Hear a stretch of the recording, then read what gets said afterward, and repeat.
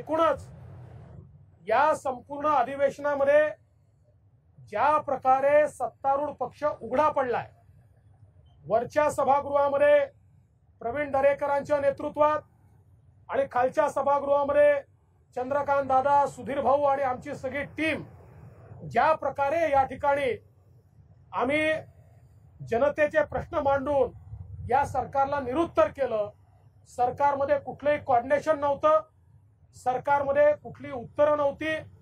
एकूणच ओबीसी समाजाच्या संदर्भात ज्या प्रकारे या सरकारने घोळ घालून ओबीसीच्या जागा कमी केल्या आणि दुसरीकडे मराठा आरक्षणाचा नवा घोळ हे सरकार घालताय आणि मराठा आरक्षणाच्या केसमध्ये जी भूमिका सरकारने घेतली आहे त्याच्या बिलकुल उलटी भूमिका ही या सरकारने ओबीसी आरक्षणाच्या केसमध्ये घेतली आहे. त्यामुळे दोन्ही आरक्षण ही अडचणीत आणण्याचं काम या सरकारच्या माध्यमातून या ठिकाणी झाल्याचं अतिशय स्पष्टपणे दिसत आहे मला असं वाटतं एकूणच या सरकारचा चेहरा उघडा झालाय. कोणालाही हे सरकार न्याय देऊ शकलेलं नाही.